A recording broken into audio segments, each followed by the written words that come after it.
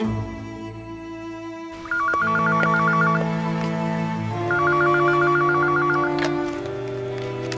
said no. Sapphire Waterfall. It's a waterfall made of sapphires. This enormous jewel, the size of a glacier, reaches the cliffs of Oblivion and then shatters into sapphires at the edge. They fall 100,000 feet into a crystal ravine. I bet you say that to all the girls.